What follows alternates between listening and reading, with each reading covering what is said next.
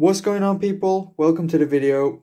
I know I've been absent for a really long time. It's nearly going to be three months since I've disappeared.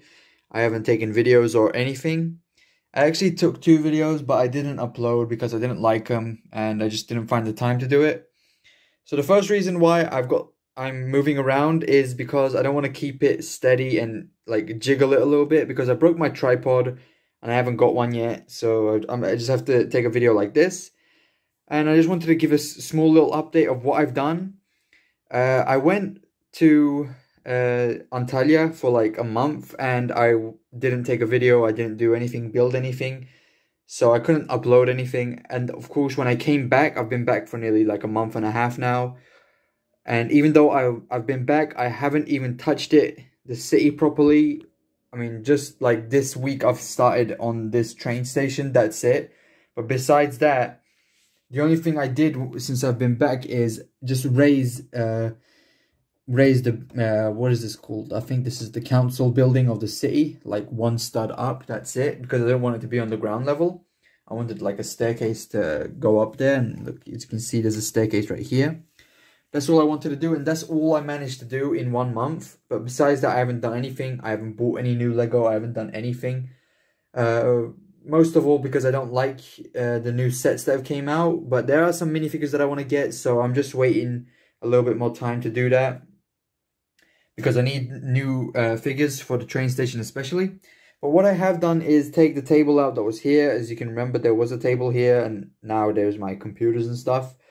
Uh, I took the table out because I didn't want to keep that table. It made it look ugly in the room. Plus, um, plus I wasn't gonna fill it up. I'd rather have a city that is dense like this, rather than have a um, a sorry, uh, rather than have a city that is spread out too much.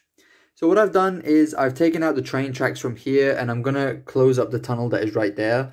I'm gonna try to make like a secret lab. I was thinking, but if not, I'm going to put that lab right here. Sorry, let me just focus the camera a little bit better. So I've taken out the train tracks from here and I've put a road piece there and I'm putting some more buildings. That's the bank. I mean, it looks a bit small and ugly, so I might might change it. I don't know what I'll do with it. Uh, I don't know if I'll have enough pieces for stuff like that, but I'll see. And we've got the road there, like I said, and an empty space here, which I have no clue what to do. But what I have done is I extended the park that was that's here and just there. So I've got the toy store there. Finally, I managed to fit that in. I just need to put some more stuff in like here or there. I don't know what I'm going to be putting in. Might leave it like that for now until I get to put something else in there. But if we're going to talk about the train station. Alright, if we're going to talk about the train station, it's actually uh, I had it planned as like a metro system, a subway. Well, not on the ground. It would just come like this above ground like it does in Chicago. But it was quite uh, hard to get it. It bends over here. That's not a problem. But um, the support beams are the problem. That's why I just said I'll just make like a train station instead. So the people of the city could just go in and out of the city. So, yeah, it goes. Uh, it has no problems. I just need to build the train, but it's not going to be wagon. It's just going to be like one single uh, train where we'll have a control panel here and here. So the driver, which is this guy, will know, I mean, he will be in front no matter what. And we just made this. So there was a gas station here, if you guys remember. So I made the gas station like this. And let me just show you a bit better. So this is the gas station inside of it.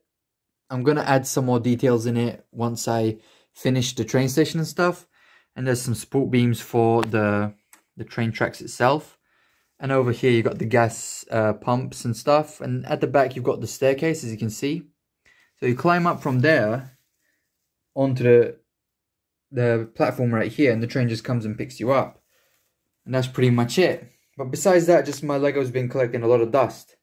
Because I haven't been around for a long time. And what I'm going to do is, once I finish the train station, I'm going to just tidy up, uh, dust it a little bit more, and hopefully I will be uploading much, much uh, more usually. Hopefully. That's what I'm hoping. But thank you for watching. If you are watching, take care, guys.